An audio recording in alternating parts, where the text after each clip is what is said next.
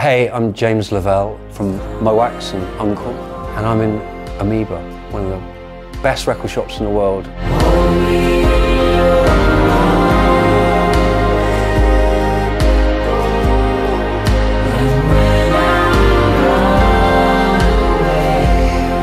Wow, where would I like to start?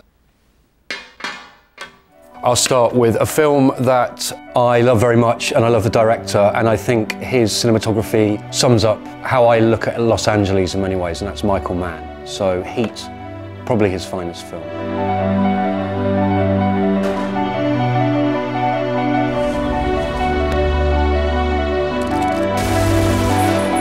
I used to come to LA a lot. LA was the first place I came to in America.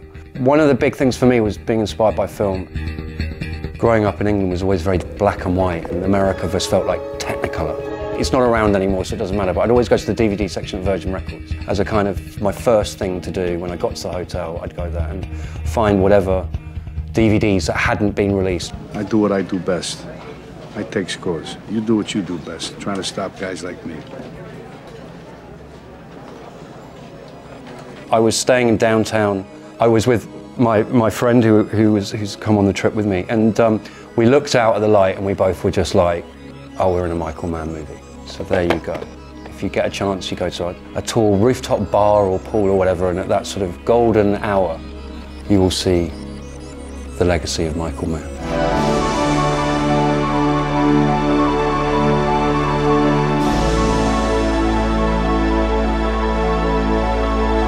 This is a film that I love, THX 1138. It's the first George Lucas film. It's probably his best ever film as far as being a director, not as a concept. Star Wars is amazing. Did you hear that?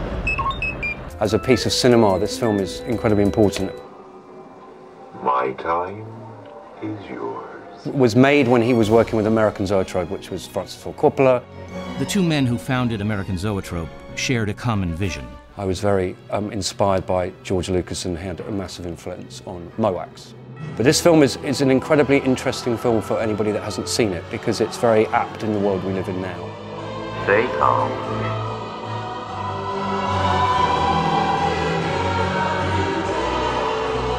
Be happy. Here's a doorway. There's a new edition of, uh, of The Tree of Life, which has a, a, director's cut, which I haven't seen.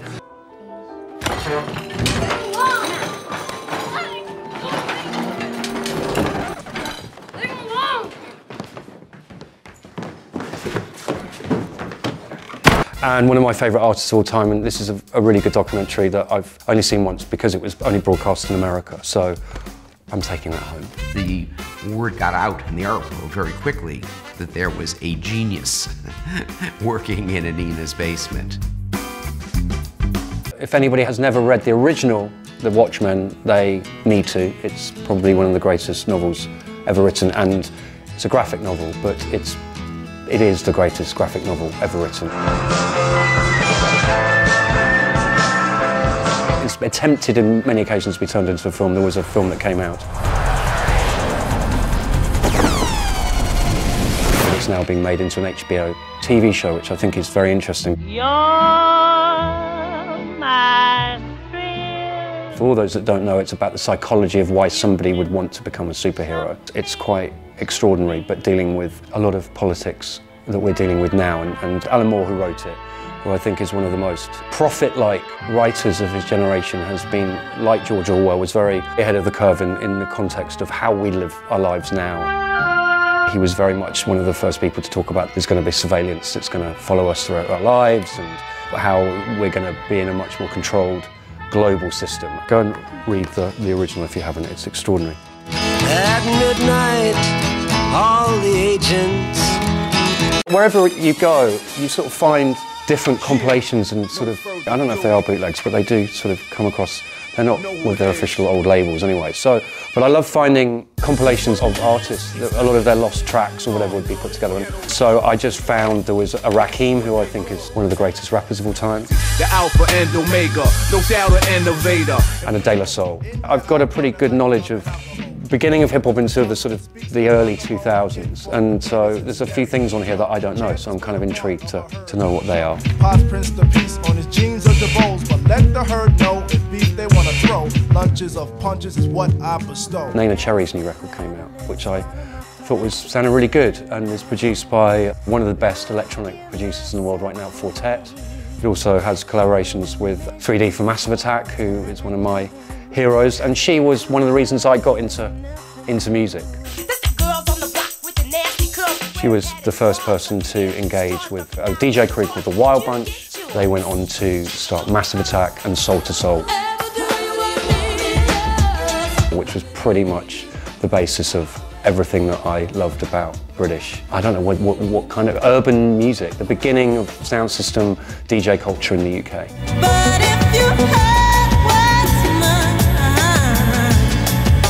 Her single Man-Child was written by 3D for Massive Attack. And Buffalo Stance was originally, I think, called Hang In With the Wild Bunch, and it was the B-side of a single by her husband. I make a move, nothing left to chance, so don't you get fresh with me.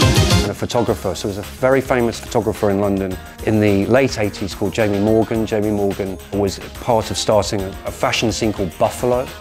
Buffalo was very much sort of taking quite tailored, smart clothing, but in a street aesthetic.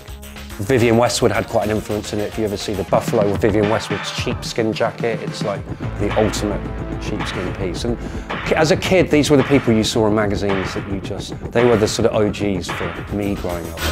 We always hang in the Buffalo stance. We do the town dance. I picked this single up randomly, not because of the artist, unfortunately, because of the shape. When I first came here, me and Shadow would jump in his car and drive for days throughout California, going to sort of vintage record stores.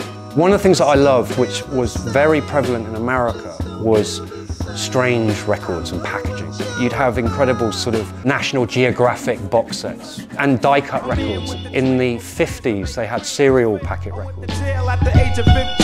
They'd have these cardboard records that you cut out. Inside the cereal packet, you'd have a mirror ball that you put on top of the record. And just these incredible gimmicky formats. It just reminds me of collecting records, you know, back in the day here.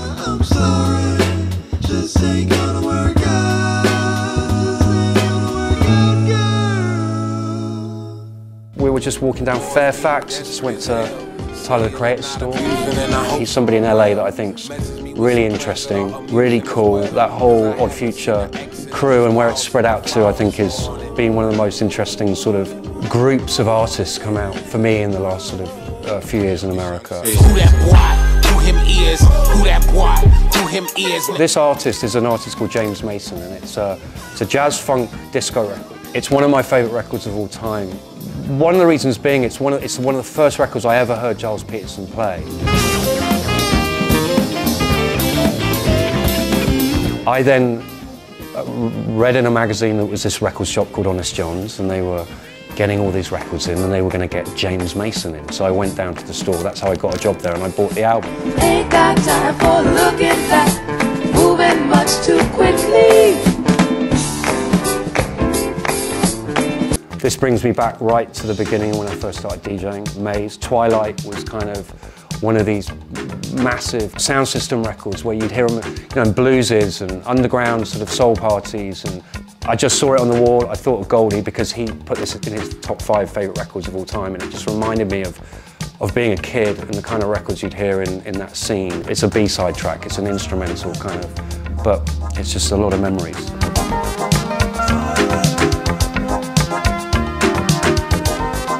Maybe I can leave it with this actually. It's probably the best record I ever released. It's not from LA, but it's a West Coast record, but it's got a lot of LA in its heart and a lot of London, so I think this record sums up my relationship with the West Coast in many ways and, and many amazing times. And this record kind of defined and changed everything for me as a, as a A&R man and as a record label, so I'm very proud of it.